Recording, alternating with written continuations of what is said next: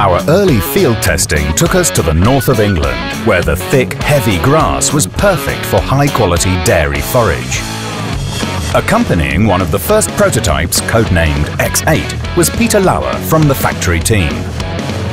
So Richard, for you, being on home ground, first time you see the X8 working in grass conditions, what do you think? It's great. I mean, I, I saw it last year working in, in maize in Germany, but uh, haven't really seen it in grass at all.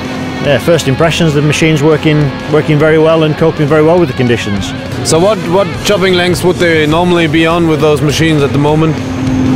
I would say they're probably normally around about sort of 20, 24, 25 millimeters for almost maximum length of cut. Um, uh, for this for these type of customers, there's a, a, trend has been to go to go longer. That's quite a straight crop flow, isn't it? Yeah, pretty pretty impressive, pretty tight crop flow. It's almost as if it's blowing maize. You wouldn't normally see it as good as that in grass.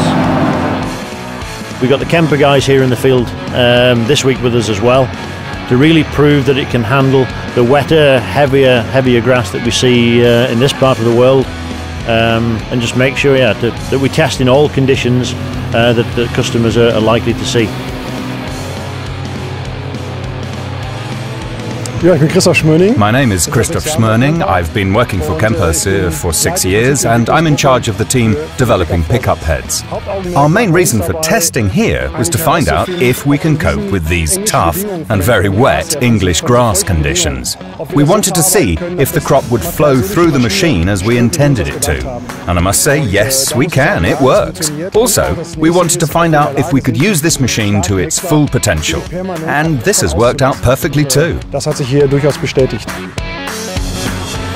The contractor Anthony Dale had switched to John Deere a couple of years back because of the better performance in grass.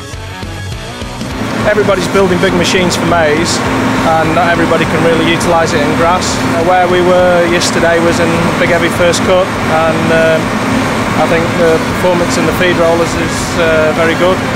I think with uh, more alterations with the header and everything, uh, I think we'll be able to use the horsepower in grass. The test team were also pleased with the machine's performance. Oh, it's just fast. Yes, this is just perfect. We're very happy. We have known this contractor for a while now, and he is fantastic. We were very happy to have such a great contractor, and the drivers are excellent too. The whole team is just ideal.